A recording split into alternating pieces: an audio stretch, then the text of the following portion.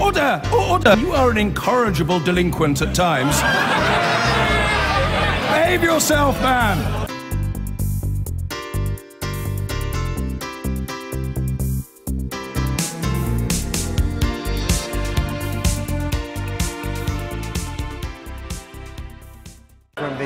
Elizabeth II Conference Centre, where in the next few minutes Sir John Chilcot will deliver a statement on his long-awaited inquiry into the Iraq War.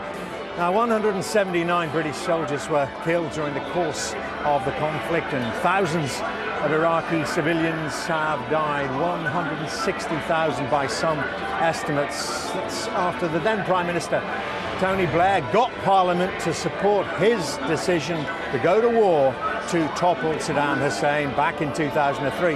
Now, ahead of the publication of his report, Sir John said he hopes that any future military action will not be possible without more careful consideration and assessment. Uh, well, now, as you can see the uh, scene behind me. We are expecting Sir John, it's now officially been released, his report, expecting Sir John to speak about it in the next few moments. We'll bring that to you live. But uh, just let me bring you some of the statistics. Seven years in the uh, consideration, seven years since it was set up, and uh, the hearings originally concluded in 2011. Since then, there have been long, long delays while documents have been prized out of government departments, while those who are mentioned in the report, criticised in the report, have had their say on it. We're told there are going to be 13 volumes in total, including an executive summary, more than 2.6 million words, 150 witnesses have given uh, oral and written evidence, and about 150,000 official documents looked at, including, and we are expecting these to be released along with the report, 29 notes passed from Tony Blair to George W. Bush, the American president at the time. And one of those key questions is, were there any assurances given by Tony Blair to George W. Bush that the UK would support the United States in military action against Saddam Hussein before it came to Parliament in 2003. Well, Sky editor-at-large Adam Boulton is uh, here with me uh, to set the scene for us. And uh, what are we expecting then from Sir John? He's already spoken before the release of this, Adam. Yes, he gave an interview uh, pulled to broadcasters yesterday, which basically he said what he was trying to do and said that he would bear down hard on people where they were culpable. Uh, what we're going to get from him now is his summary of the main points as he sees them uh, emerging from uh, his inquiry, uh, and also, I suspect, a little bit of further explanation of not just what they've concluded, but the method by which they've come to those conclusions. Great deal of focus, of course, we can see it around here, can't we, from uh, some of the protesters. Great deal of focus on Tony Blair, and some even saying, you know, questions about his, his culpability. Well, this is not a court of law, and it's been clear from the beginning that uh, Sir John Chilcot was not going to say, I believe Tony Blair is guilty of this or I believe he's guilty of that. It's going to be what they're calling a narrative, i.e., it, it's going to describe what happened. So it may say, uh, for example, uh, Mr. Blair said this, but this does not appear to have been justified by the documents which we've seen that he was seeing at the time. That that, that type of thing. I'm not saying it's going to say that, but that's an example of how it will work. So rather than say, Mr. Blair distorted this, it'll say, this is what Mr. Blair said, this is what the evidence that was presented to him, and then it'll be for others, uh, those people have been in there uh, since uh, uh, 8 this morning uh, to draw their own conclusions. Well, uh, that's one of the one of the main focuses, of course, Adam. But there's going to be a lot more in it, a lot more released. Not just about the decision to to go to war, but what then flowed afterwards. Yeah, I mean, two aspects of the aftermath, really. First of all, before they went to war, did they look in? Did they take advantage of the best information they had as to what might happen? And Tony Blair, of course, has already conceded that he didn't know what was going to happen uh, and uh, that that might have materially affected his decision making. Uh, and then also, uh, then the conduct of what happened. Most of the casualties happened after the invasion on both sides. Were the British Army properly prepared? How good were their commanders? Uh, and uh, Also, uh, were they wrongly advised in saying that they would take control of Basra and southern Iraq, uh, whereas things turned out the British didn't have the resources uh, to do that job properly and had to be rescued by a mixture of uh, American and new Iraqi army. And also key questions which have been looked at before, haven't they, about the nature of the intelligence, the quality of the intelligence, and then the role of others outside the intelligence community in presenting that intelligence, in particular to parliamentarians. Yes, I think that's absolutely right, because if we look at who is on this committee, we have uh, a military historian, we have a diplomat, uh, we have uh, Baroness Prashar, who uh, is very well versed in the workings of government from outside. And they're going to want to know in this inquiry not just why it happened, but once it happened, how it worked, how it went wrong. And that, of course, is crucial uh, to the intelligence because everyone acknowledges the intelligence was wrong. The British intelligence sources were saying, we know Saddam Hussein has weapons of mass destruction. That was one of the pretexts for the war, and we now know that was untrue. Well, we already knew that, though, didn't we? Because we've had uh, Sir Robin Butler looked into this, uh, well, more than a decade well, we've ago. had the Butler inquiry, and of course, uh, on the Butler inquiry was Sir John Chilcot. And uh, I think what's happened is that more information has emerged about the quality of the intelligence sources uh, which were being relied on, uh, which frankly doesn't reflect very well on the intelligence services if they were saying we are pretty much certain on the basis of uh, some fairly dodgy sources, if I can use that word. What are the uh, families of the soldiers who lost their lives? What are they going to be looking for? We are expecting to hear from some of them after Sir John speaks. Well, I think this falls into two categories. Uh, there are some of the bereaved who simply feel that the war was wrong, therefore it was wrong of Tony Blair to put their loved ones in harm's way, and they want to focus on Tony Blair and their belief, some of them have, that he lied and misrepresented because he wanted to go to war. I think, Adam, Other, I think others, so, uh, others of the bereaved are more concerned about were they the duty of care was that fulfilled to their troops. Okay, well, let's listen to Sir John. And Sir Lawrence Freedman and I would like to welcome you to the Queen Elizabeth II Centre. I should record how much we appreciate the support provided by the Centre and its staff during our public hearings and again today. Before I begin my statement, perhaps we should all recall the continuing suffering of innocent people in Iraq and those who have been killed and injured in terrorist attacks, including the latest horrific attack last Sunday, which killed more than 250 people. We were appointed to consider the UK's policy on Iraq from 2001 to 2009 and to identify lessons for the future. Our report will be published on the inquiry's website after I finish speaking. In 2003, for the first time since the Second World War, the United Kingdom took part in an invasion and full-scale occupation of a sovereign state. That was a decision of the utmost gravity. Saddam Hussein was undoubtedly a brutal dictator who had attacked Iraq's neighbors, repressed and killed many of his own people, and was in violation of obligations imposed by the UN Security Council.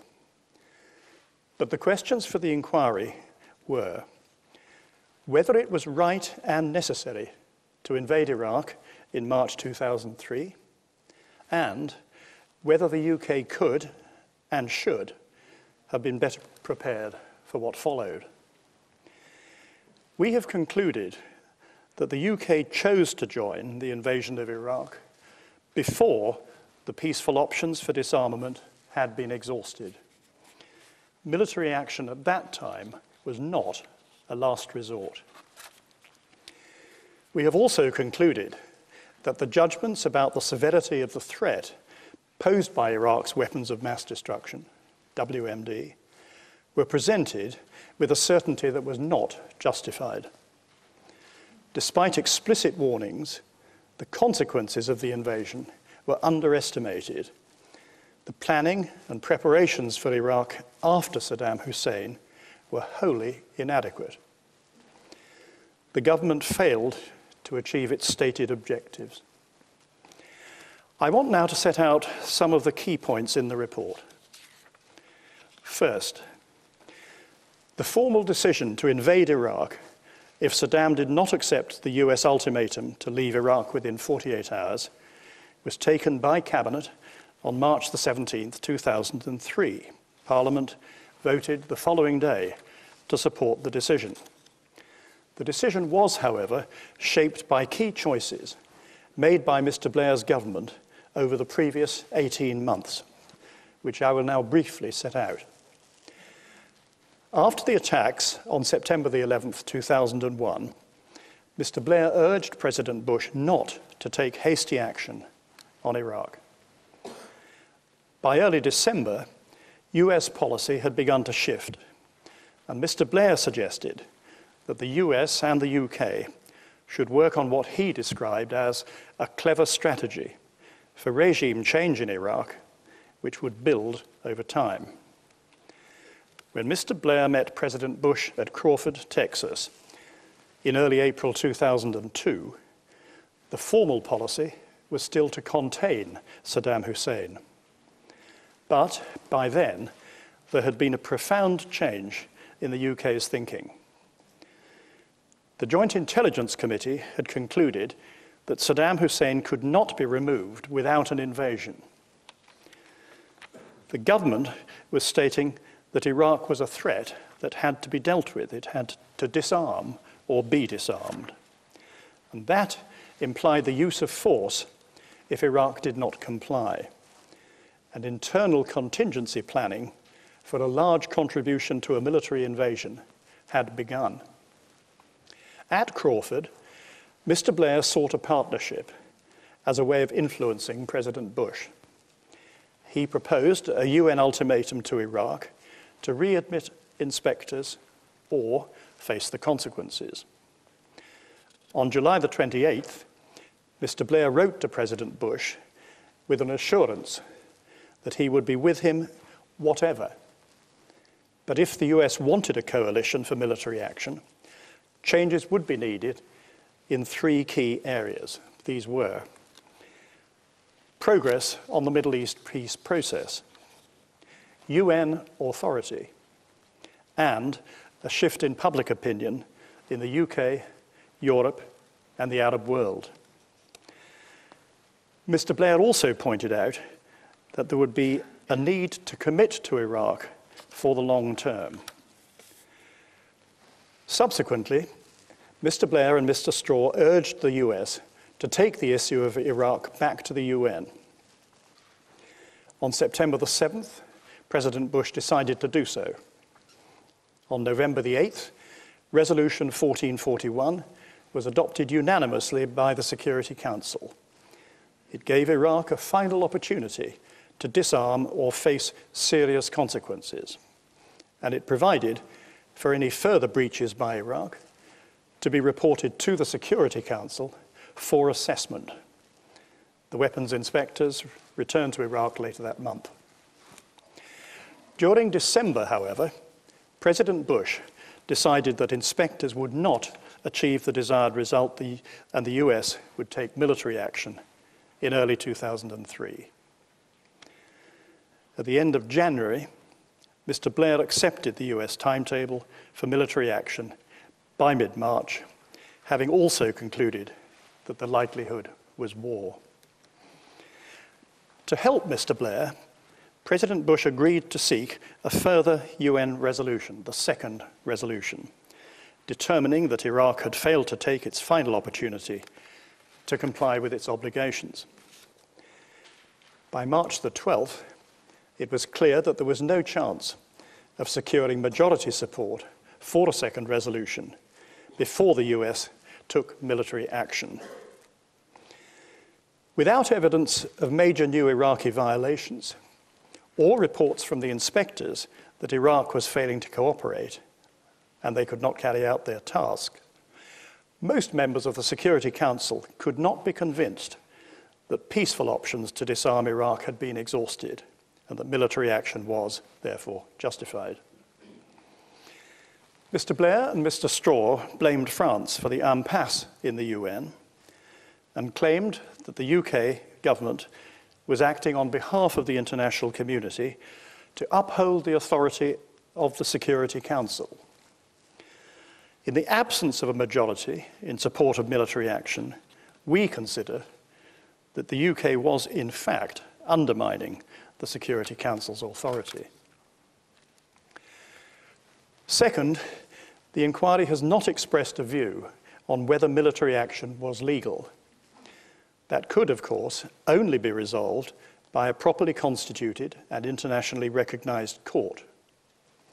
We have, however, concluded that the circumstances in which it was decided that there was a legal basis for UK military action were far from satisfactory. In mid-January 2003, Lord Goldsmith told Mr Blair that a further Security Council resolution would be necessary to provide a legal basis for military action. He did not advise number 10 until the end of February that while a second resolution would be preferable, a reasonable case could be made that resolution 1441 was sufficient. He set that out, he set that view out in written advice on March the 7th. The military and the civil service both asked for more clarity on whether force would be legal. Lord Goldsmith then advised that the better view was that there was, on balance, a secure legal basis for military action without a further Security Council resolution. On March the 14th, he asked Mr. Blair to confirm that Iraq had committed further material breaches as specified in Resolution 1441. Mr. Blair did so the next day. However, the precise basis on which Mr. Blair made that decision is not clear. Given the gravity of the decision, Lord Goldsmith should have been asked to provide written advice explaining how, in the absence of a majority in the Security Council, Mr. Blair could take that decision. This is one of a number of occasions identified by the inquiry when policy should have been considered by a cabinet committee and then discussed by cabinet itself. Third, I want to address the assessments of Iraq's weapons of mass destruction and how they were presented to support the case for action. There was an ingrained belief in the UK policy and intelligence communities that Iraq had retained some chemical and biological capabilities, was determined to preserve and, if possible, enhance them, and in the future to acquire a nuclear capability, and was able to conceal its activities from the UN inspectors. In the House of Commons, on September the 24th, 2002, Mr. Blair presented Iraq's past, current, and future capabilities as evidence of the severity of the potential threat from Iraq's WMD. He said that at some point in the future, that threat would become a reality. The judgments about Iraq's capabilities in that statement and in the dossier published the same day were presented with a certainty that was not justified. The Joint Intelligence Committee should have made clear to Mr. Blair that the assessed intelligence had not established beyond doubt either that Iraq had continued to produce chemical and biological weapons or that efforts to develop nuclear weapons continued. The committee has also judged that as long as sanctions remained effective, Iraq could not develop a nuclear weapon, and that it would take several years to develop and deploy long-range missiles.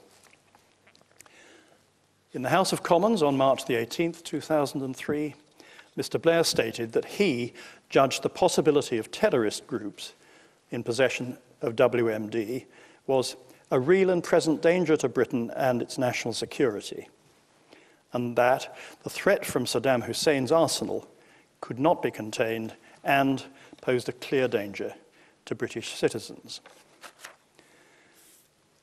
Mr. Blair had been warned, however, that military action would increase the threat from Al Qaeda to the UK and UK interests. He had also been warned that an invasion might lead to Iraq's weapons and capabilities being transferred into the hands of terrorists. The government's strategy reflected its confidence in the Joint Intelligence Committee's assessments. Those assessments provided the benchmark against which Iraq's conduct and denials and the reports of the inspectors were judged. As late as March the 17th, 2003, Mr. Blair was being advised by the chairman of the Joint Intelligence Committee that Iraq possessed chemical and biological weapons, the means to deliver them, and the capacity to produce them. He was also told that the evidence pointed to Saddam Hussein's view that the capability was militarily significant and to his determination, left to his own devices, to build it up further. It is now clear that policy on Iraq was made on the basis of flawed intelligence and assessments. They were not challenged, and they should have been. The findings on Iraq's WMD capabilities set out in the report of the Iraq Survey Group in October 2004 were significant, but they did not support pre-invasion statements by the UK government, which had focused on Iraq's current capabilities, which Mr. Blair and Mr. Straw had described as vast stocks and an urgent and growing threat. In response to those findings, Mr. Blair told the House of Commons that although Iraq might not have had stockpiles of actually deployable weapons, Saddam Hussein retained the intent and the capability and was in breach of United Nations obligations. That was not, however, the explanation for military action he had given before the conflict. In our report, we have identified a number of lessons to inform the way in which intelligence may be used publicly for in the future to support government policy. Fourth, I want to address the shortcomings in planning and preparation. The British military contribution was not settled until Mr. Hoon agreed the military's proposals for an increase in the number for an increase in the number of brigades to be deployed and that they would operate in southern, not northern Iraq. There was little time to prepare three brigades, and the risks were neither properly identified nor fully exposed to ministers. The resulting equipment shortfalls are addressed in the report. Despite promises that Cabinet would discuss the military contribution, it did not discuss the military options or their implications. In early January 2003, when the government published its objectives for post-conflict Iraq, it intended that the interim post-conflict administration should be UN-led. By March 2003, having failed to persuade the US of the advantages of a UN-led administration, the government had set the less ambitious goal of persuading the US to accept UN authorization of a coalition-led interim administration. When the invasion began, UK policy rested on an assumption that there would be a well executed, US led, and UN authorized operation in a relatively benign security environment. Mr. Blair told the inquiry that the difficulties encountered in Iraq after the invasion could not have been known in advance. We do not agree that hindsight is required. The risks of internal strife in Iraq, active Iranian pursuit of its interests, regional instability, and Al Qaeda activity in Iraq were each explicitly identified before the invasion. Ministers were aware of the inadequacy of US plans and concerned about the inability to exert significant influence on US planning. Mr. Blair eventually succeeded only in the narrow goal of securing President Bush's agreement that there should be UN authorization of the post conflict role. Furthermore, he did not establish clear ministerial oversight of UK planning and preparation. He did not ensure that there was a flexible, realistic, and fully resourced plan that integrated UK military and civilian contributions and addressed the known risks. The failures in the planning and preparations continued to have an effect after the invasion. That brings me to the government's failure to achieve the objectives it had set itself in Iraq. The armed forces fought a successful military campaign, which took Basra and helped to achieve the departure of Saddam Hussein and the fall of Baghdad in less than a month. Service personnel, civilians who deployed to Iraq, and Iraqis who worked for the UK showed great courage in the face of considerable risks, and they deserve our gratitude and respect. More than 200 British citizens died as a result of the conflict in Iraq. Many more were injured. This has meant deep anguish for many families, including those who are here today. The invasion and subsequent instability in Iraq had, by July 2009, also resulted in the deaths of at least 150,000 Iraqis, and probably many more, most of them civilians. More than a million people were displaced the people of Iraq have suffered greatly. The vision for Iraq and its people, issued by the US, the UK, Spain, and Portugal at the Azores Summit on March the 16th, 2003, included a solemn obligation to help the Iraq people build a new Iraq at peace with itself and its neighbors.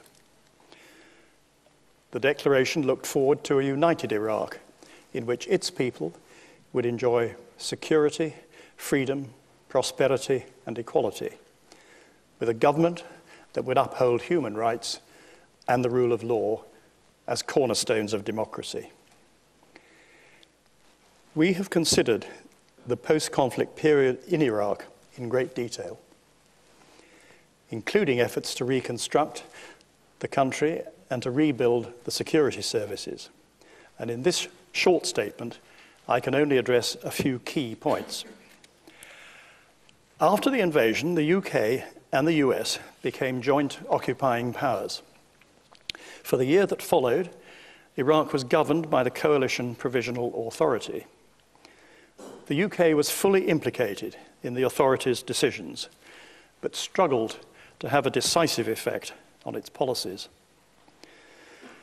the government's preparations failed to take account of the magnitude of the task of stabilizing, administering, and reconstructing Iraq, and of the responsibilities which were likely to fall to the UK.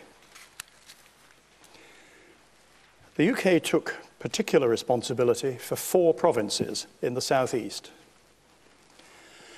It did so without a formal ministerial decision and without ensuring that it had the necessary military and civilian capabilities to discharge its obligations, including, crucially, to provide security. The scale of the UK effort in post conflict Iraq never matched the scale of the challenge. Whitehall departments and their ministers failed to put collective weight behind the task. In practice, the UK's most consistent strategic objective in relation to Iraq was to reduce the level of its deployed forces. The security situation in both Baghdad and the southeast began to deteriorate soon after the invasion. We have found that the Ministry of Defense was slow in responding to the threat from improvised explosive devices, and that delays in providing adequate medium weight protected patrol vehicles should not have been tolerated. It is not clear which person or department within the Ministry of Defense was responsible for identifying and articulating such capability gaps, but it should have been. From 2006, the UK military was conducting two enduring campaigns in Iraq and Afghanistan. It did not have sufficient resources to do so. Decisions on resources for Iraq were affected by the demands of the operation in Afghanistan. For example, the deployment to Afghanistan had a material impact on the availability of essential equipment in Iraq, particularly helicopters and equipment for surveillance and intelligence collection. By 2007, militia dominance in Basra, which UK commanders were unable to challenge, led to the UK exchanging detainee releases for an end to the targeting of its forces. It was humiliating that the UK reached a position in which an agreement with a militia group which had been actively targeting UK forces was considered the best option available. The UK military role in Iraq ended a very long way from success. We have sought to set out the government's actions on Iraq fully and impartially. The evidence is there for all to see. It is an account of an intervention which went badly wrong, with consequences to this day. The inquiry report is the committee's unanimous view.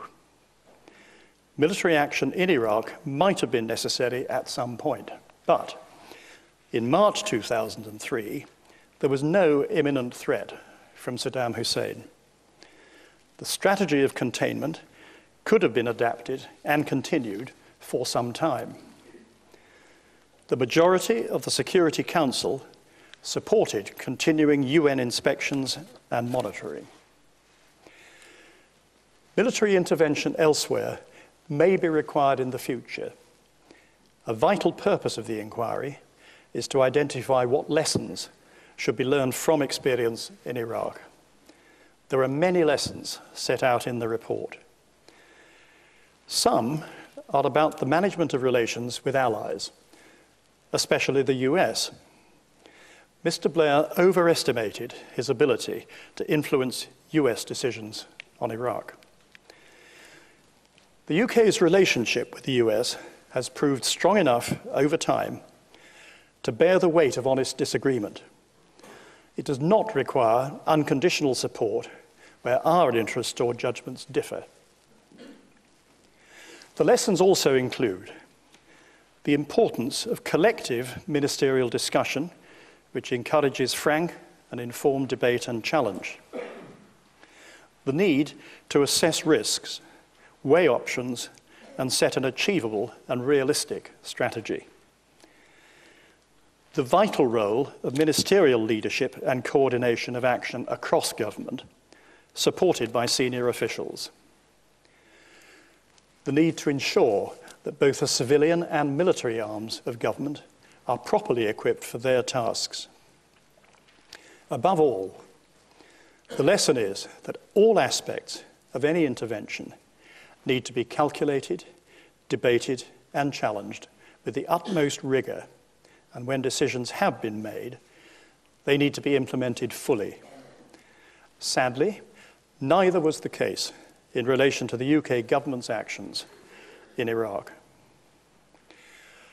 To conclude, I should like to thank my colleagues, our advisors, and the Inquiry Secretariat for their commitment to this difficult task. I also want to pay tribute to Sir Martin Gilbert, who died last year.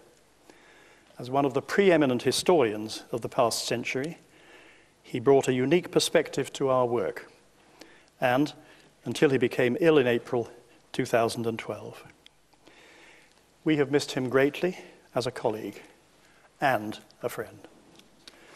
Thank you.